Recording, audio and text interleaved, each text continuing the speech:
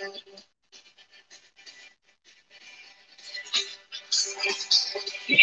passo assim as de merda.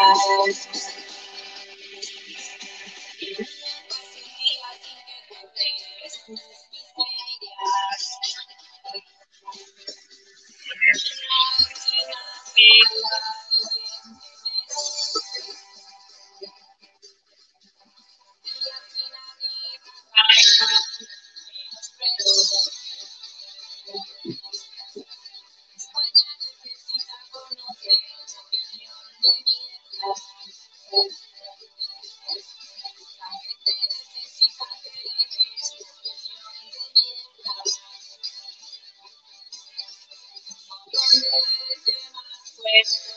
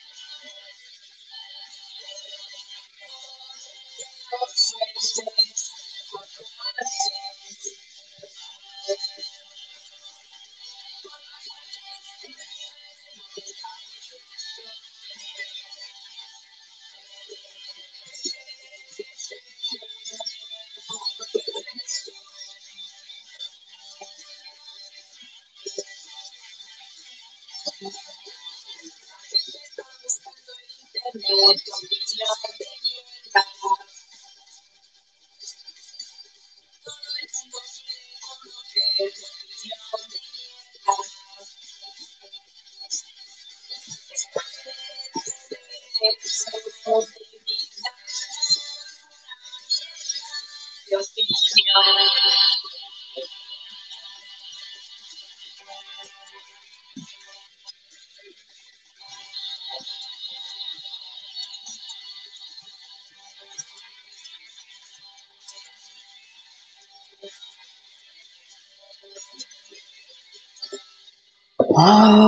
ay ay ay ay ay ay ay ay ay ay ay ay ay ay ay ay ay Compre llums. Bon dia pel matí. Com esteu? Espero que bé. Eh, un cap de setmana realment intens. Eh? Hi ha, sabeu que hi ha plagues, no? La plaga de la llagosta és una de les més temudes en, en determinats camps. A Barcelona aquest cap de setmana hem vist una plaga que s'anava movent. No? allà de la plaça Espanya, s'anava aquí al Bogatell. Fi, eh, no direm res, no? A les llagostes se les fumiga. Eh? Però, en fi, nosaltres, en aquest cas, no es pot fer res. No, no es pot fer res, perquè són molts. Som, és com les llagostes, que són moltes. En fi, eh, dit el comentari patillero del, del matí, eh, avui, avui poesia, poesia. Uh, ahir, per exemple, vam estrenar uh, això que, que farem ara, a partir d'ara, alguns diumenges, no tots, hem demanat a poetes que vinguin a dir els seus poemes, no només els que han escrit, sinó també els que uh, han fet que escrivissin aquella poesia, és a dir, tota la poesia que he llegit anteriorment. Perquè hi ha un detall molt important, importantíssim, que és que heu de recordar que per escriure, a banda d'aprendre a escriure, el que s'ha de fer sobretot és aprendre a llegir. Mm? quan algú et ve i et diu, no, és que he escrit aquest llibre, i, diu, i vostè que ha llegit? Diu, no, jo no he llegit res. Dic, hòstia, no ho sé, eh? Eh? Doncs hem fet això. I ahir ho vam estrenar amb Laura López Granell, eh, ho podeu trobar al YouTube, és fantàstic el que va succeir ahir. Va venir ahir amb un actor que es diu Jordi Vidal Gómez, que no el conec jo de res, Vidal Gómez, no em sona, eh, però que ho va fer molt bé, molt bé aquest xico, molt bé, jove, jove, un gran valor en alça que conjuntament amb la Laura, que és un valor absolutament consolidat de la poesia en català, de la poesia catalana, eh, doncs van fer que les persones que estiguéssim aquí, més les que ho veien eh, a través d'internet, doncs patíssim una, eh, bueno, una, un estat de, eh, catatònic de dir, hosti, que bé que s'està escoltant poesia durant 35-40 minuts sense que ningú t'empreny. No? Eh, I ja està us vull informar d'una cosa que és que ahir em, em, em, em van donar la raó, no? Eh, a partir d'octubre, a partir de... bueno, ja ho veureu, no? Però a partir d'ara, per venir a la llibreria, com que hem de reservar i hi ha l'aforament Covid, no? hi ha l'aforament Covid, a mi em fa molta pena eh, que, home, que la gent reservi, com que és gratis, no? pues que la gent reservi i que llavors no vingui. No? Eh, perquè ahir teníem llista d'espera. Llavors va haver-hi gent, eh, van haver-hi cadires buides i va haver-hi gent que no va venir avisant a última hora i a última hora, clar, a última hora no pots fer res. Eh? Vull dir que jo ja ho entenc que hi ha urgències a la vida. Eh? Ja, no, ja ho entenc que hi ha urgències a la vida. Però, però clar, eh, no, no pot ser que falli, no? que falli excessiva gent perquè llavors queden les cadires buides. I llavors, clar, hosti, això fa, no només per la llibreria, eh? eh però sobretot pel, per, pels poetes no? que venen o, o pels autors que venen. Per tant, a partir eh, de, ja ho veureu per la web i tal, a partir d'ara, quan hagueu de reservar, quan, quan fem reserva farem una cosa, no? que és que haureu de pagar 5 euros. I dius, home, he de pagar 5 euros per venir a alguna activitat? bueno, a mi m'agradaria fer-ho, que és el que fan a Alemanya, però, en fi, no, no ho farem així. El que farem serà que per reservar haureu d'avançar 5 euros i llavors el dia de l'activitat, quan vingueu, us podreu eh, descomptar aquests 5 euros de la compra de la compra d'un llibre. Eh? Eh, i, I llavors ho farem així. Si no veniu el dia de l'activitat, naturalment, doncs allò sí que quedarà com una entrada perquè haureu ocupat la cadira d'algú que no haurà vingut. En fi, tot això ja, ja està, ho dic, ho, intento dir-ho de bon rotllo, però us he de dir que no, no, no, molt bon rotllo no dona, francament. Eh, però, en fi, és, és el que hi ha. Eh, el que deia, poesia. Hem de començar amb poesia. Què ha passat? Doncs que la setmana passada, després de molt, perquè jo és una mica la història de tot això, no? Després de molt, molt, molt, molt, molt de temps, molt de temps, l'editorial Impedimenta, que és qui publica en castellà tots els volums de Mircea Cartarescu, un moment, Mircea Cartarescu, hm? una es posa de peu quan parla de Mircea Cartarescu direu exagerat. Bueno, en fi, a mi m'agrada molt Mircea Cartarescu, tot el que fa eh, doncs ha publicat finalment aquest volum que és la poesia essencial de Mircea Cartarescu. Jo ara intentaré explicar molt breument, molt breument, per què és important la poesia de Mircea Cartarescu. Mireu, eh, Cartarescu ha vingut tres vegades a la llibreria, he pogut parlar amb ell eh, eh, abastament, quan dic abastament dic amb, amb converses de mitja hora, tres quarts, alguna de les quals la, la podeu, si poseu Cartarescu no llegiu, us trobareu diferents vídeos de Cartarescu a la no llegiu. Eh? Eh, I veureu doncs, una entrevista que li vam fer amb el Coromines, veureu eh, a Cartarescu dient un poema, eh, veureu a Cartarescu en un acte, en fi, eh, moltes coses. A mi Cartarescu m'agrada molt. Cartarescu eh, eh, és un senyor que va començar escrivint poesia en el sentit més pur de la paraula, de forma, eh? en el sentit més formal de la paraula. Ell escrivia poesia. I va estar escrivint poesia pràcticament fins a finals dels 80. Mm? Eh, després va deixar d'escriure poesia entesa formalment com a poesia. Mm?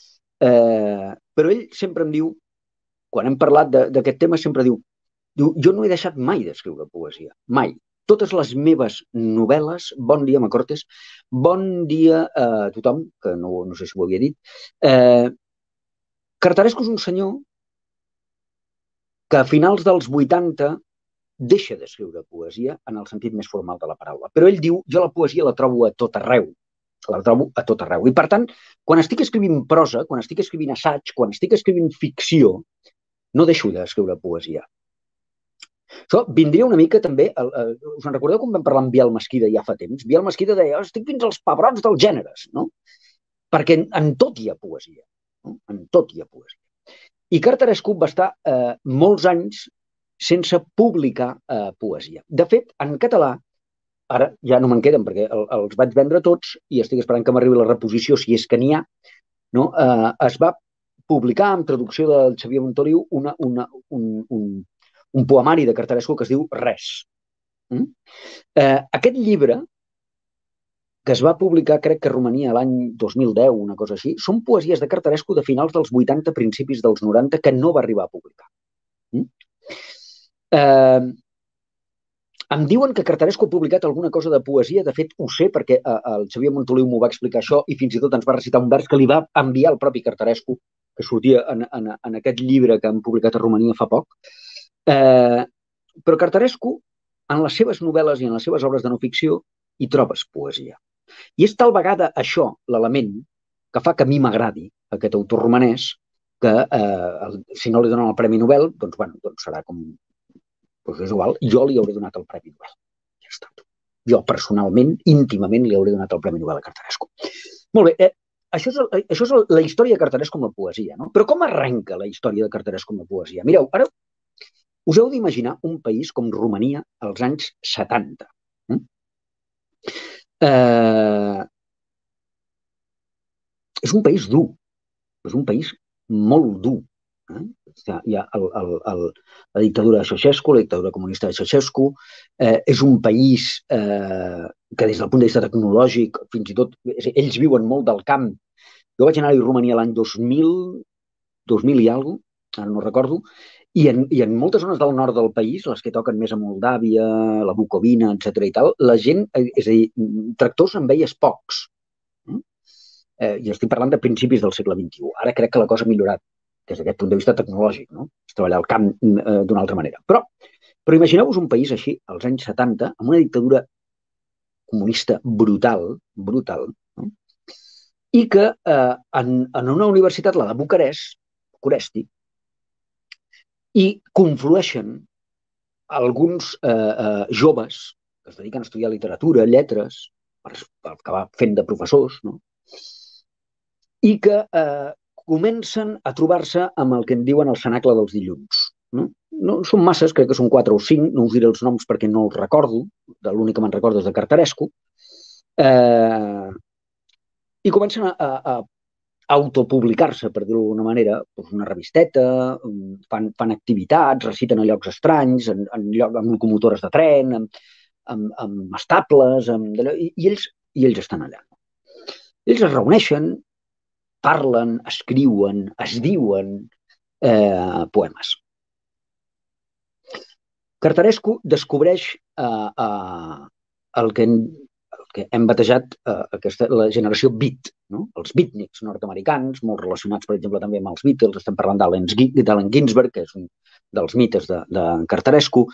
Eh, estem parlant de tota aquella gent de la generació beat que eh, quan publica la seva poesia als anys 60, 50, 60, estem parlant de Ginsberg, de Franco Jara, eh, decideix, eh, eh, per dir-ho d'una manera, saltar-se els, els cànons habituals de la poesia per començar a parlar amb un llenguatge molt més narratiu, menys formal des del punt de vista de la rima, en vers lliure, eh, i, però que proclamen sobretot una cosa que és llibertat. Llibertat. Mm? Per tant, imagineu-vos a la Romania dels anys eh, 70 un grup de poetes que descobreixen a la generació beat en un país on la llibertat no seria eh, moneda de canvi corrent. Mm? Eh, és llavors quan Cartarescu comença a, a publicar. Per, de fet, aquí eh, no, no hi ha masses llibres eh, de, de, de Cartarescu. Ara, aquí hi ha exactament un, dos, tres, quatre, cinc. Cinc llibres de poesia hi ha aquí. Eh? Cinc llibres de poesia que hi ha aquí. Primer llibre es diu Faros, escaparates, fotografies. Aquest és un llibre mític de Cartarescu, eh, que per primera vegada el trobem traduït a, a, en castellà, i que conté un poema que aquells que heu llegit Solenoide igual us sona, no? perquè és un poema que es diu La caiguda, la caïda, mm? uh, Caderea, es, uh, es diu en, en, en romanès. Aquest primer poemari de Cartarescu és un poemari que conté molts elements beatnik, per dir-ho d'alguna manera, per la qüestió de la, de la llibertat formal, no? però que és molt simbòlic. No és un poemari fàcil, no és un poemari fàcil. Ara el llegirem algun fragment, perquè la, la caïda són set, eh, set episodis, no? Set episodis. Eh, estem parlant de poemes que, malgrat tot el que sentireu ara, més endavant passaran a ser molt més narratius i, i notareu la diferència, no? Però aquest és molt simbòlic. Però comença a tenir ja elements formals, per exemple, com el ritme.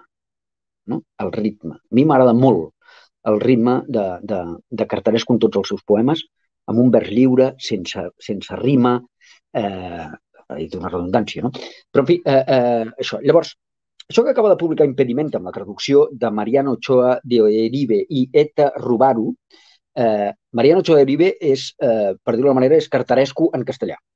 Jo crec que el dia que vegi la Marian la confondré directament amb cartaresco, perquè ell ha traduït tot cartaresco, és la veu de cartaresco en castellà. Mm? Per cert, que aquesta poesia essencial no hi és tota la poesia, sinó que la selecció dels poemes l'ha fet la Marian, l'ha fet l'Eta i l'ha fet també Cartaresco. Eh? L'ha fet també Mircea Cartaresco. Per tant, jo, sense més preàmbuls, vaig a llegir-vos el, el, el primer eh, eh, fragment de... Mira, no sé si, si us llegiré el primer. No, crec que us llegiré el tercer. El tercer. El que us deia és que aquells que heu llegit Solenoide eh, eh, us, us sonarà això, no? Perquè a Solenoide, el personatge, eh, el narrador de, de Solenoide, és un poeta que no guanya un, un, un premi a, a Romania, no? el guanya un altre, més clàssic, no? per dir-ho d'alguna manera, eh, i, i, eh, i el poema es diu la, la, la, la caïda, la caiguda. Eh? Caderea, que diuen en, en romanès. No sé si es diu així, però és igual, jo ho dic així. En fi, eh, insisteixo, crec que quan sentiu això direu, hòstia, aquest tio, intenteu desconnectar, si no, si no, eh, jo crec que és millor llegir-lo per, per tenir-lo davant, eh? Però escoltat, a mi m'interessa molt la cadència, el ritme d'aquesta poesia, eh, i després en llegirem uns altres que ja veureu que són molt més narratius comprensibles. Eh? Charles Simic, aquell gran poeta nord-americà eh, contemporani, un dia li van dir Diu, escolti, una senyora es veu que el va aturar i li va dir, escolti, però és que vostè no escriu poesia. Diu, ah, no? Diu, per què no? Diu, no, diu, perquè l'entenc. És una explicació. En fi, tercera part la caiguda. Eh, diu. Aquí estoy. Con ojos pálidos aquí estoy. Un androide comparable con las olvidadas leyes aquí estoy. En Nínive así se contemplaban las constelaciones desde torres filtradas por el polvo y por los reyes. Unos pechos melenudos muestra la hierba y los tritones se sobresaltan. Astrolabios sextantes, cuadrantes mojados me avalan en el esfuerzo realizado para aparecer incendiado y con las melenas heladas. Finalmente, por fin, aquí estoy un taladro de cristal, con la broca dirigida hacia el barro, un androide que siente el cerebro, la carne y el polvo, avalado por el azur frondoso y por la hoja llamado serafín.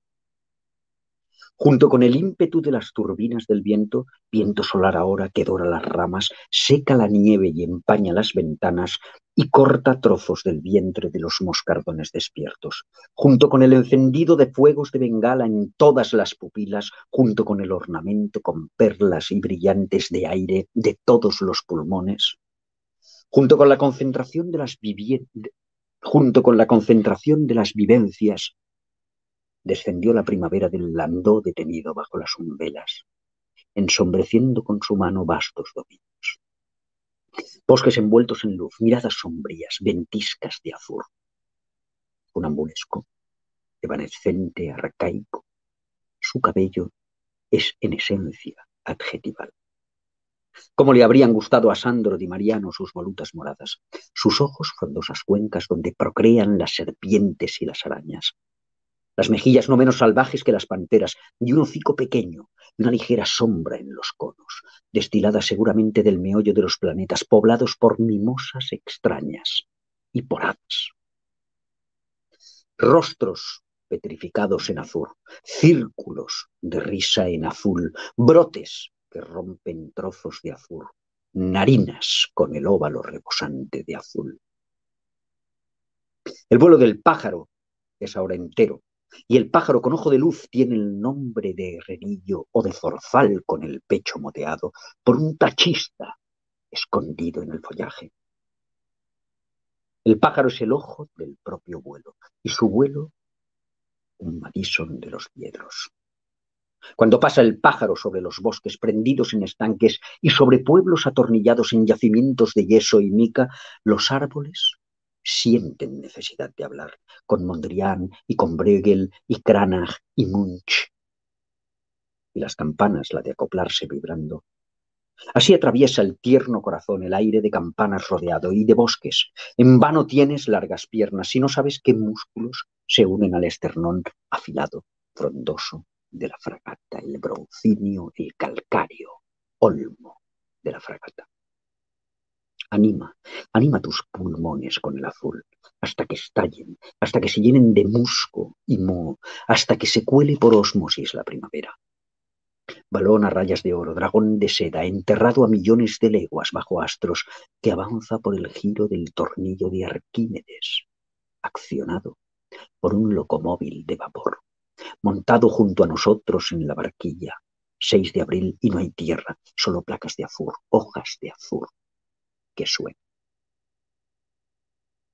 Que paz bebas en estos bosques lúcidos, que el tiempo olvides entre nubes de cuerpo versátil, Deja que te goteen en tus ojos las hojas relucientes, líquidas. Deja que crezca en tu pecho la arquitectura del trino. Los ojos ciérralos, pero abre tu pecho a la vida. Se hoja, con los tallos marcados en bronce. Mira, se golpean unos contra otros los atletas que aletean en el éter con los hombros cándidos y duros. Envuelta en tallos verdes y en saltamontes como el veneno, caminas de mi mano. Y sin embargo estoy mucho más solo que si estuviera solo, y te pareces a la gota de agua del cáliz del muguete que brilla por la mañana y se seca antes del ocaso. Pleno abril y de la corteza del arce, con un zumbido de laúd el sol alza su barbilla redonda. Y querubines de sebo mofletudos y con los puños en los párpados tienen el rostro bañado de lágrimas y hacia el amargo bosque mira, desde los hombros desnudos de la ciudadela. El hilo y la llave aquí se entreven, deshilachado, oxidado. En la espiral el calcol mastica su flema. Pero tímida mi pantera, entre tallos, espera vastas paces y un tesseracto de arena. Tómame, semiesfera de sangre. Aquí estoy listo para cualquier alma, cualquier rostro.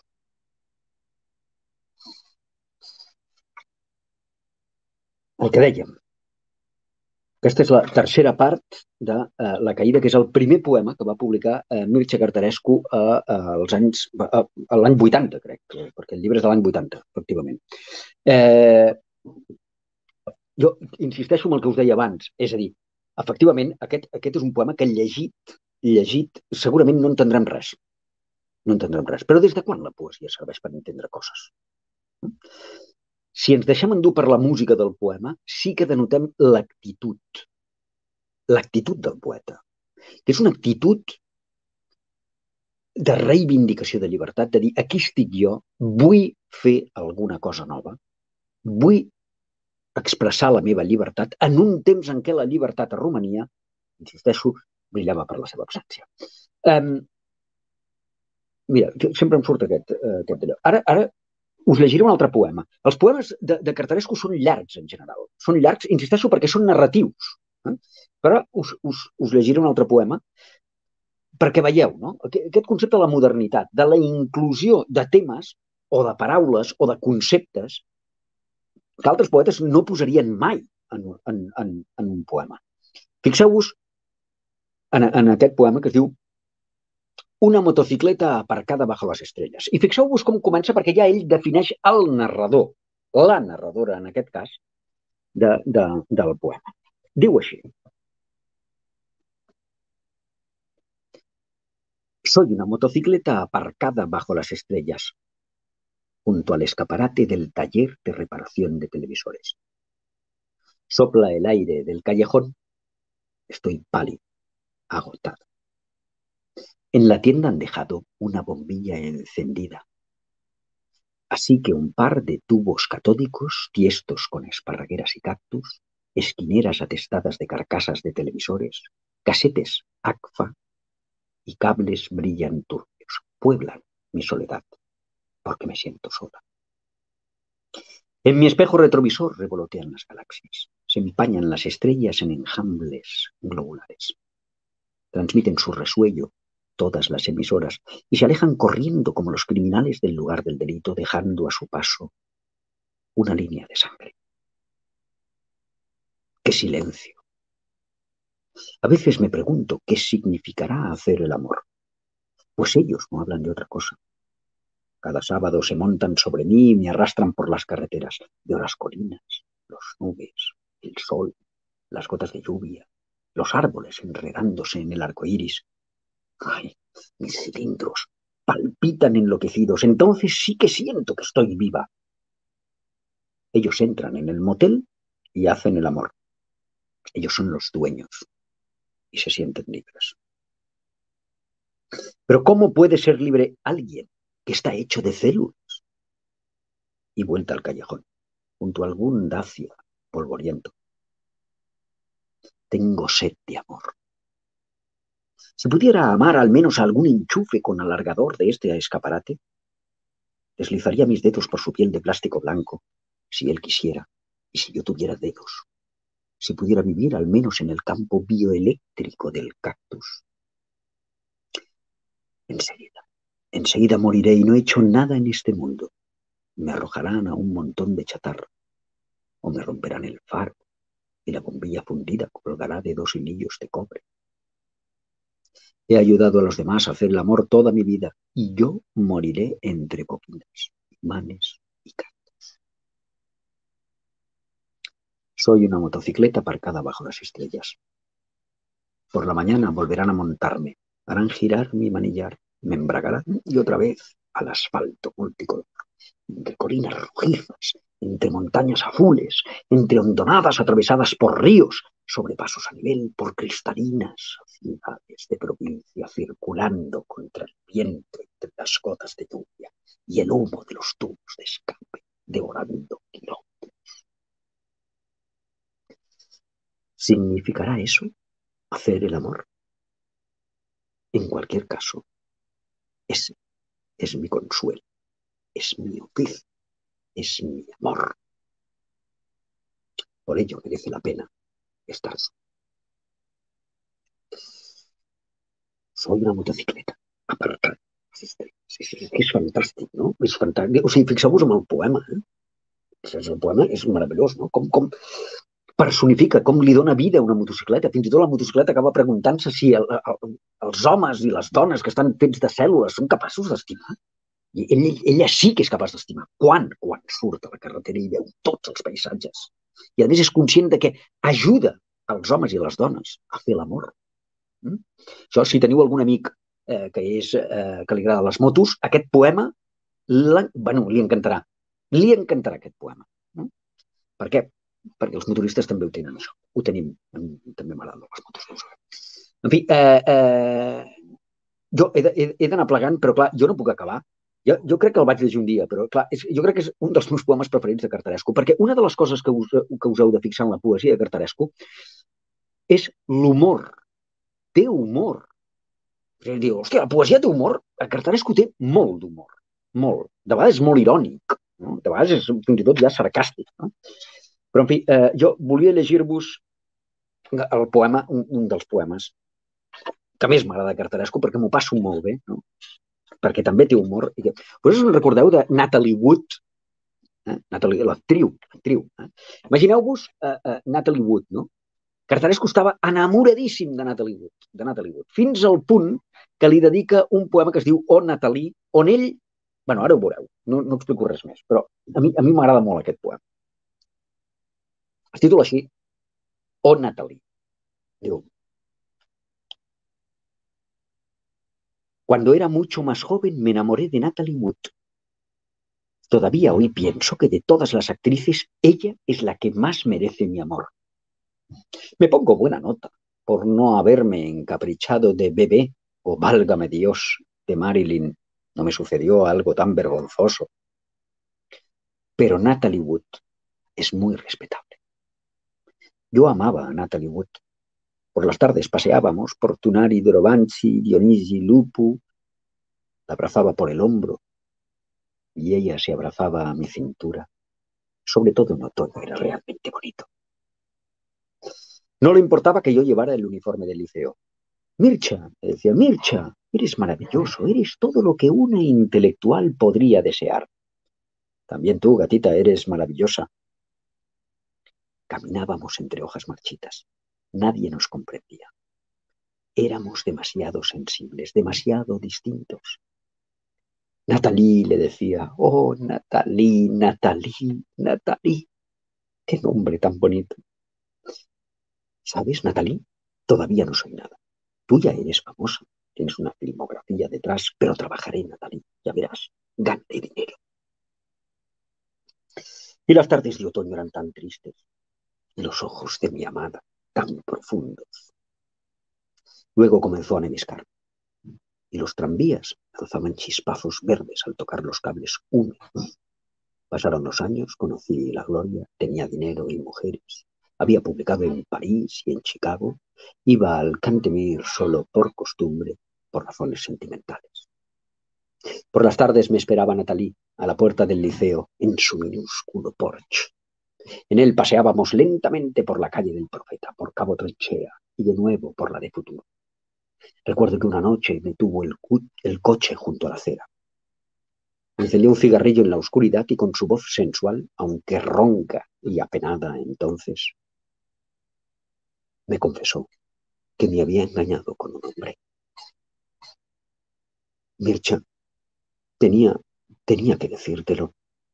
No habríamos podido continuar así. Sabes, no deseé ni por un instante acostarme con Robert, pero es tan pesado. Los rubios estos son tremendos. Pero créeme, Mircha, Créeme, tú sigues siendo el mejor. La perdoné. Lo que no perdonas a una depravada, se lo perdonas a una mujer superior. Engáñame con tus actos, no con tu pensamiento, le dije tan solo. Luego me fui a la mili. A Cristi Teodorescu lo visitaba casi todas las semanas Daniela. A Mera lo visitaba su actual esposa, Incluso a Rómulus lo visitó una vez alguien. Natalie no me visitó nunca. Los domingos me quedaba como un tonto en la garita de guardias y contemplaba cómo los demás besaban a sus novias, cómo entrelazaban sus manitas sobre la mesa. Cuando limpiábamos las armas yo leía cinema, escondidas. Recordaba todo lo que hablaba de ella, de ella. Durante diez años no supe nada de ella. La vida nos separó. Hasta que hace una semana, buscando cintas de magnetófono, ¿a quién veo en el disco de cristal junto a Lipscani? Natalie. Natalie estaba de nuevo en Rumanía, pero qué envejecida. No quise decirle nada, y me fui antes de que me viera. Fuera la esperaba el insulso de Redford con el Cadillac. No, las sopas recalentadas son sosas. No, Natalie, has elegido. Ahora sigue tu camino. Y sin embargo, ¿por qué cuando volví a casa las 17 habitaciones me parecieron vacías? A través de la ventana helada contemplé largo rato la piscina en la que flotaba una hoja muerta. ¿Es o no es maravilloso? Eh? O Natalie, de Mircea Cartarescu, recollit en aquesta poesia essencial que ha publicat Impedimenta, que recomano moltíssim, que a més és, bueno, escrit tots els poemes. És que clar, podríem buscar algun de, de, de, de, de, de més, però és que clar, tots són llargs, tio. És que m'agrada molt, molt. Ai, ai, ai, mira. És que no, no, no només us dic aquest, eh? Nos miramos a los ojos. Me leeré al principio. Nos miramos a los ojos, pero no sé si como dos amantes o como dos arañas, o como un hombre ante el espejo, o como dos ciegos en un asilo. Seguimos el mismo camino. Tú regulas mi oxitocina, mi vasoprosina. Yo, como el espejo de un telescopio, intento atraparte en unos milímetros de vida. Es como si una larva trocófora intentara comprender no al hombre, sino al gusano. Decir que eres un dios, que eres el todo, es un Tu poro más pequeño es el todo. Y sin embargo, un quemador del hornillo o este instante cuando escribo a máquina son más grandiosos que tú, pues ellos existen. Vale, escolta'm, acabem aquí. Eh, de veritat, que si no heu llegit la poesia... De... És una, si no heu llegit Cartaresco, ja correu. La gent sempre em pregunta, i com començo per Cartaresco? Mireu, jo buscaria un volum que es diu Nostàlgia, que té tres relats, el primer dels quals és el ruletista, eh? que és un, un, un, un relat superbreu de 70 pàgines que es llegeix molt bé i que dona una sensació ja d'aquest onirisme, d'aquest de, aquests escenaris que Cartaresco sempre publica sense saber exactament on coi ets, però que està tot molt ben definit. No? I que, eh, en fi, que ja està, que ho deixem aquí. Eh, demà, avui, a la tarda, a les 7 de la tarda, comencem No me vengas con cuentos. Teniu l'última oportunitat per inscriure-us ja, perquè comencem avui i després ja es tanca, i llavors no hi ha sessions soltes. I aquí sí que, patapam, és tot el curs. 15 professores i professors de lujo, lujo, lujo, lujo, vale? que ens ensenyaran a llegir i a escriure, a partir de la lectura, com dèiem al principi, contes. Eh, comença a les 7 de la tarda i ho podeu, us podeu inscriure per la web i tant se val on estigueu, com si estigueu a Nova Zelanda o a la Conchinchina. Existeix la Conchinchina? En fi, eh, d'això. Demà, el programa, no el farem des de la llibreria. Demà tornem a passejar. Hem quedat amb Jordi Coromines a la plaça Lesseps, a dos quarts de deu anirem passejant i explicarem, parlarem de La ciutat violenta, que és el llibre que acaba de publicar ara i que és una història de la crònica negra de la ciutat de Barcelona que serveix, entre altres coses, per explicar la pròpia història de la ciutat de Barcelona i els canvis socials que hi ha hagut a la ciutat de Barcelona. Demà, dos quarts de deu, en directe, aquí. Per tant, me'n vaig. No poso música, perquè ja sabeu que no sé què passa amb la música, que no se sent bé. Apa, feu bondat, que no m'hagi de trucar la policia. Eh? Vale. Adéu.